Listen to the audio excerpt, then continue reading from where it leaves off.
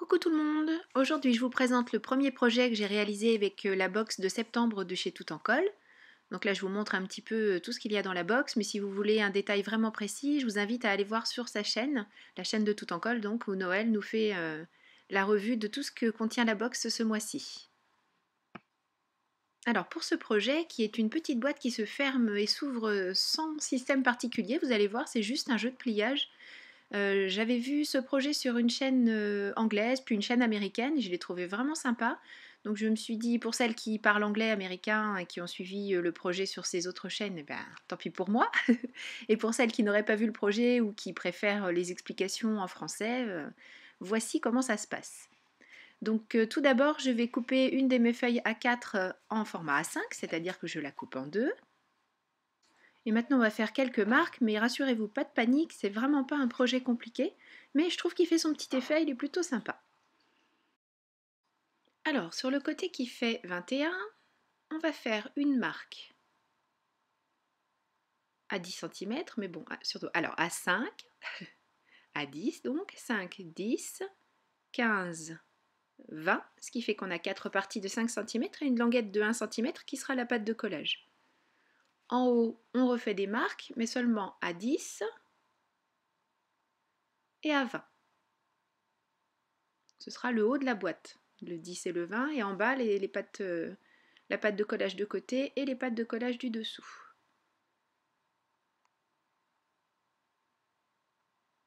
Sur le côté droit, je fais une marque à 2 et demi. Je déplace ma règle et une marque à 10. C'est-à-dire que je mets ma règle sur 12 et demi, je mets à 10 et à 0. Voilà, c'est aussi simple que ça. Donc c'est ce que je fais de l'autre côté. 12 et demi pour le bas de ma page, à 10 et à 0. Et c'est tout. C'était pas très compliqué au niveau du marquage. Maintenant, avec mon stylet à embosser, je vais marquer les plis, donc le pli du haut, celui du bas pour les pattes de collage du dessous de la boîte. Ensuite, les plis verticaux, donc celui de la bande de 1 cm pour le collage sur le côté de la boîte. Celui du milieu sur toute la hauteur, mais c'est le seul qui sera sur toute la hauteur, à part la patte de collage bien sûr, mais là sur les autres. Celui-ci donc de haut en bas. Par contre, ah oui, il faut que j'en fasse des petites marques, ce sera plus facile à suivre. La moitié de ce rectangle et la moitié de celui-ci, donc euh, à 5 et à 15. Voilà, je ne vais marquer que sur la dernière euh, hauteur en fait, puisqu'on ne veut des pattes de collage que là. Ce rectangle va disparaître et celui-là aussi. On accélère un peu. Donc je coupe mes rectangles et je vais couper ma pâte de collage restante un peu en diagonale. Voilà, juste pour que ce soit propre et plus facile. Alors maintenant, les autres coupes. On va couper sur juste les deux et demi du bas cette marque, celle-ci donc un juste sur deux et demi, et celle-ci. Bon, rien de bien compliqué, hein, vous avez vu. C'est quasi terminé pour la base de la boîte. Maintenant, on va juste faire d'autres marques en forme de triangle. Donc je prends cette marque et je monte jusqu'à l'intersection de ma, ligne de pliage et de mon papier en haut. Je pivote, je fais la même chose ici.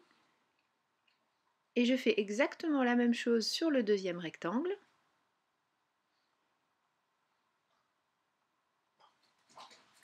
Et voilà, c'est terminé au niveau du pliage, au niveau des marquages, pardon.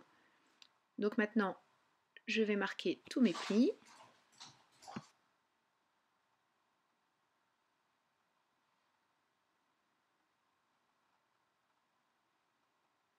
Voilà, on obtient un petit peu un genre de forme euh, en diamant.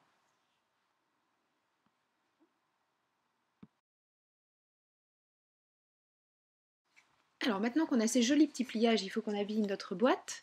Donc je choisis une des feuilles euh, contenues dans la box.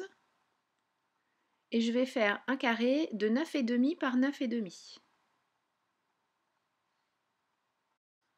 Alors je plie mon carré très légèrement juste sur, euh, sur le haut comme ça c'est pour euh, marquer le, repérer le milieu sans avoir à mesurer tout simplement. Voilà, et je coupe du marquage jusqu'à la pointe en bas et la même chose de l'autre côté. Je me retrouve donc avec trois triangles. Je peux donc habiller un des côtés de la boîte et dans ce qui me reste de papier, je vais euh, reporter la forme de deux petits triangles puisque je vais garder euh, la surface du grand pour utiliser le pochoir et un tampon pour décorer la boîte. Et voilà ce qu'on obtient. J'ai ancré toutes les arêtes de ma boîte, de même que tous les bords des petites découpes de papier. Et je vais maintenant habiller, tout simplement mettre les panneaux euh, sur les panneaux correspondants. Alors j'ai pas fait attention quand j'ai découpé les petits triangles, donc prêtez-y attention. J'espère que vous n'avez pas euh, commencé euh, le découpage avant de regarder la vidéo.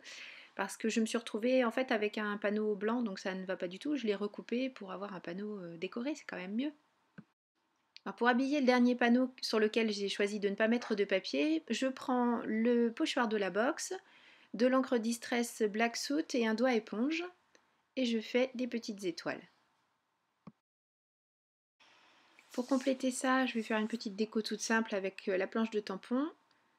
Comme c'est pour faire un petit cadeau euh, gourmand, cette, euh, cette, petite boîte, j'ai choisi le petit fanion juste trop bien j'ai tout simplement imprimé sur imprimé, tamponné sur une chute de Bristol et je le fixe avec une agrafe. on va bientôt voir à quoi ressemble cette boîte. J'utilise mon scotch double face. J'en mets sur toutes les pattes de collage. Je replie.